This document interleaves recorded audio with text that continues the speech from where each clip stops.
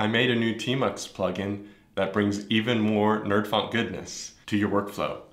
Let's go check it out.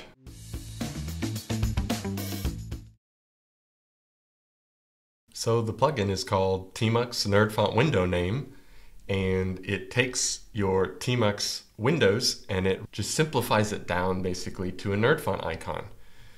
Things like shell scripts and Vim and even things like LazyGit, and it just matches them up. And for me, I have noticed that it creates a really streamlined and minimal environment, which you know I love.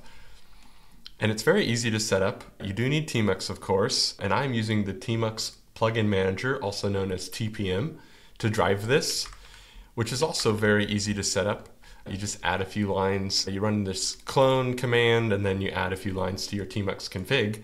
Then all that it takes is adding this line to your Tmux config file. And so if we look at my Tmux config, we'll see I have it here.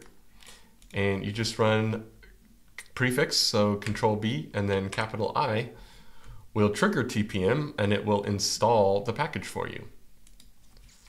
Now, as a short summary of how it works and what's going on behind the scenes, it's just a shell script.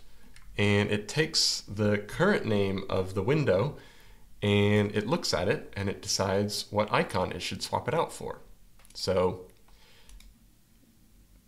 fish Z shell bash, right, uses just this little shell icon Vi, Vim, NeoVim, LunarVim. I've come up with a few already, show the Vim icon, and you kind of get the point. It just kind of repeats.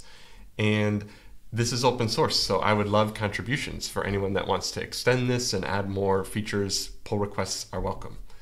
And then it uses the tmux set option, and it's called automatic rename format. And so the way that this option works is you pass it an argument. So in our case, we're going to pass it the shell script, and the argument is the pane current command.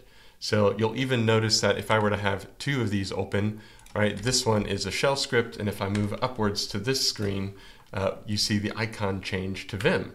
So pretty cool. And this really starts to play out nicely when I have kind of multiple things going on at once. So maybe I'll have a shell script running and my code editor and maybe LazyGit pops up. And so it's clear enough that I know what's going on, but it takes very few characters. In fact, it's only one character per window. And I just, it's just so aesthetically pleasing to me. So I find this plugin to be very minimal. I just really enjoy getting everything out of the way that doesn't need to be there. And so Tmux is still serving its purpose, but I'm not having to see so many characters. It kind of blends away using the icons.